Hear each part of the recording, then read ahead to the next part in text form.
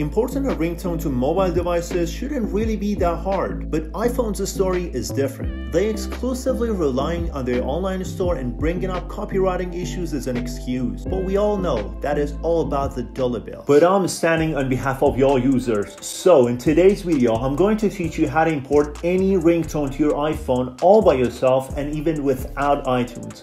So let's get it started. As for the first prerequisite, you need to install this free application on your PC called 3utools. This app is basically a more evolved version of iTunes. This app is not only included all of the iTunes features, but also on top of that, you can perform lots of different actions within that app. For instance, real-time screening, cleaning garbage, compressing photos, and lots of more different features. Let's head over to the interface of the app itself.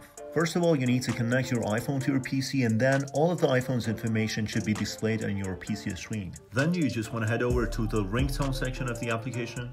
So as you can see, I have already made two ringtones out of one music, so I'm just gonna head over and delete one of them. And the action is honestly easy as a pie. You just wanna press delete and then delete again, and the ringtone would automatically get deleted from your iPhone. So let me teach you what you're here for. To create a ringtone, you wanna press make ringtone on the upper toolbar, and you wanna press from PC at this point. So I have a bunch of free musics in my personal PC, and I'm just gonna move on and select one of them randomly just to show you and illustrate it to you guys. So after pressing open, another window will pop up called Make Ringtone. You can easily trim the music as your favorite, change the volume of the selected song, and even add intro or outro fade to that particular tone.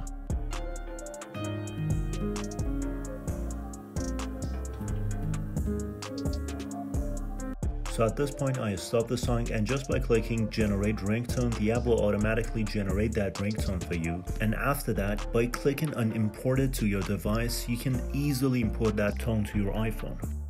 After you successfully imported your ringtone to your iPhone, you want to head over to your setting and then open sound and haptic. At this point, you want to head over to ringtone and then boom, you will see all the ringtones has successfully been added to your iPhone. Thank you guys so much for watching this video and if this video was helpful, please consider subscribing to my channel. Peace.